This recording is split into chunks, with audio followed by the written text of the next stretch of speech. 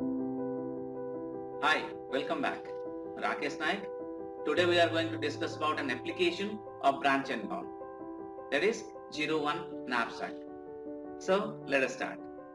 If you have remembered, if you have remembered 01 knapsack, what we learned in dynamic programming, you remember it? Okay, let me refresh it once more. There is a knapsack.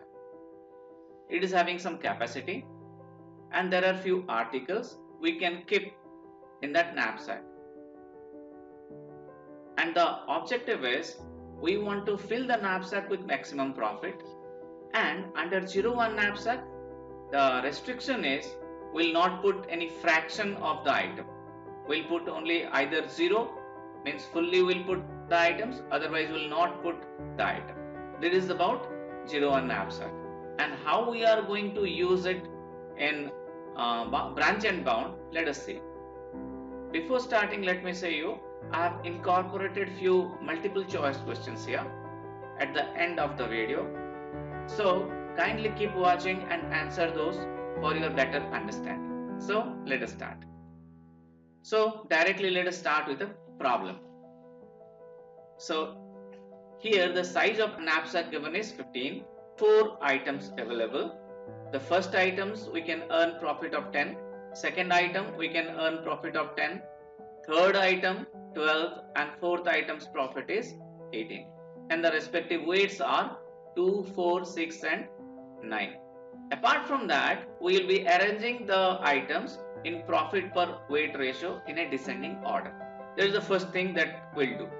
So let us start. So let us try to find the upper bound and the lower bound of each node we know the capacity of knapsack is 15. So if we want to place the first item, the weight of first item is 2. So the remaining capacity of knapsack is 15 minus 2 is 30. Next let us try to place the second item. Second item weight is 4. So the remaining capacity will be 13 minus 4 equal to 9. And for the third item, the weight is 6. We can still keep this item in this knapsack. So the remaining item is 9 minus 6 equal to 3. For the fourth item, we cannot keep because the weight available to us is 9 um, but the knapsack capacity is 3. So we are not in a position to place the fourth item. So the profit that we will be earning is P1 plus P2 plus P3 that is 32. There is the profit that you are going to earn and we'll say this is the upper bound. Now calculate the lower bound. If at all a fraction is allowed for the fourth item, let us try to see how much profit we can earn by including the fourth item as fraction. So the profit will be for P1 plus P2 plus P3, the profit we got is 32, but 3 out of 9 weight we can place for the fourth item with profit 18. The remaining capacity of the knapsack is 3. Weight of the fourth item is 9. So 3 by 9 and profit is 18 for the fourth item. So the total profit we'll get is 38 if we are adding fourth item as fraction and this is the lower bound. So the total profit we got if we include the fourth item that is 38. Now convert the maximization problem into minimization problem. How we can do that? By changing the sign to negative for the upper and lower bound. So the upper bound becomes minus 32 and the lower bound becomes minus 38. Now there are two options either I can include the first item or I'll exclude the first item. So if I include the first item I'll go to node 2 and if I'll exclude the first item I'll go to node 3. So next step what we are going to do is we'll choose a path that has a minimum difference of upper and lower bound. So let us try to apply this particular formula and try to calculate the upper and lower bound for node 2. Now in node 2 we are going to include the first item. So the upper bound will be 10 plus 10 plus 12 that is 32. So upper bound becomes minus 32. And if we want to use the fraction of the fourth item so what it will be? It will be minus 38. The upper bound becomes minus 32 and lower bound becomes minus 38. if we place the first item in the knapsack or the pack. Now let us try to find the upper and lower bound of node 3. So if we are not including first item, so we have excluded first item.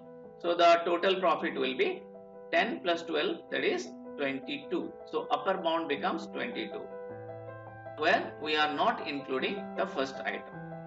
And the lower bound will be what?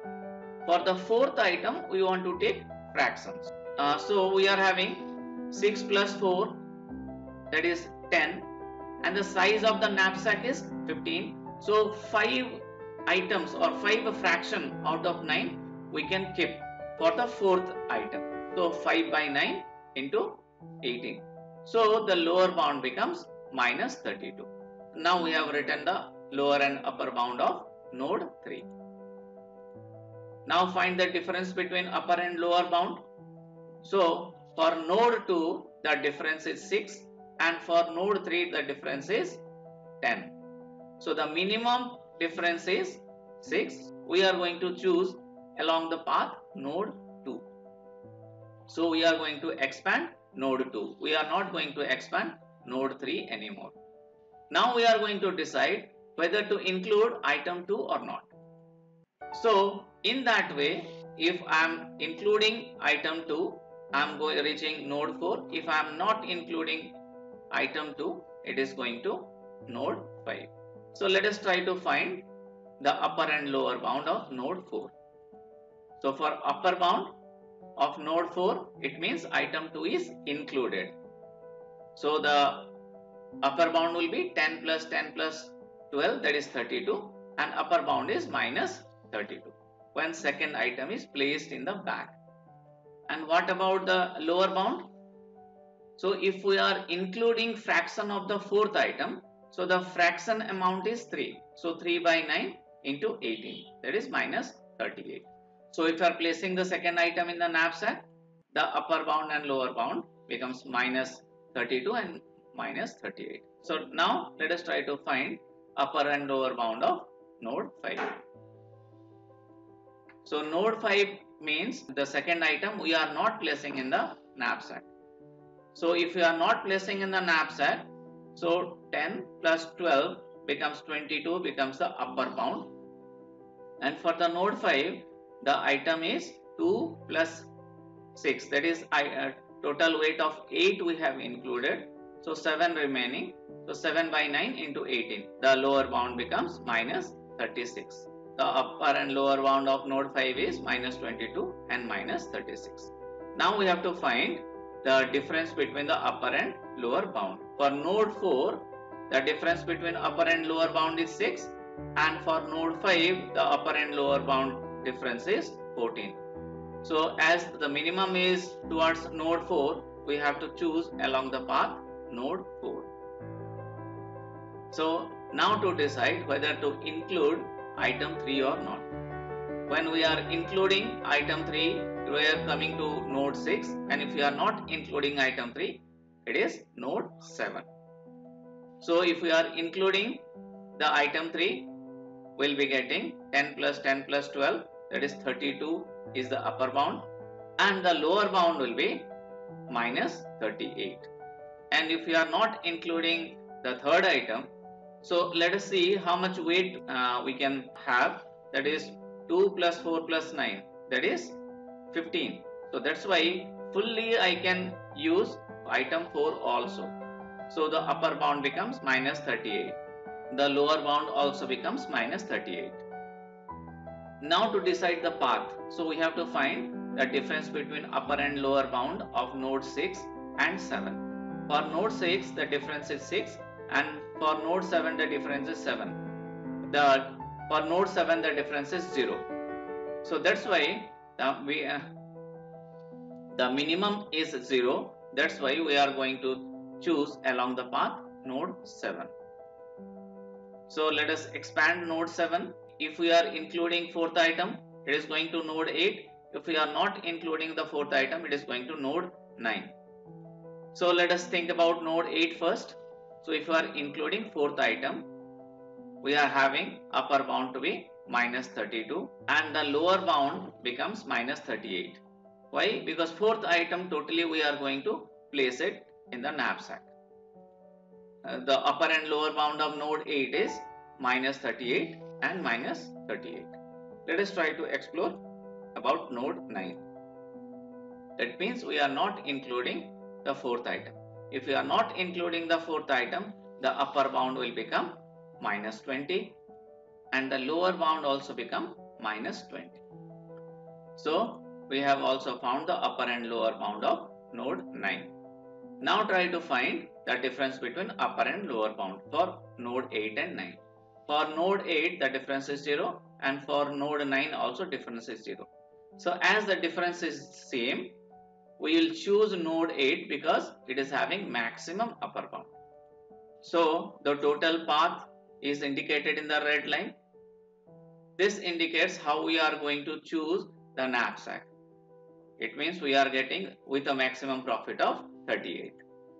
We are going in along the path node 1, 2, 4, 7 and 8 and the item that we are choosing x1, x2, x3, x4 to be 1, 1, 0, 1 respectively. So this is how you will be finding 0, 1 knapsack problem using branch and bound method. Here I have given few multiple choice questions. Try to answer this in the comment box so that we can judge how much you have understood regarding branch and bound method. So this is the first problem. This is the second problem. This is the third problem. And this is the last problem. Thank you. Thank you for watching this video till the end.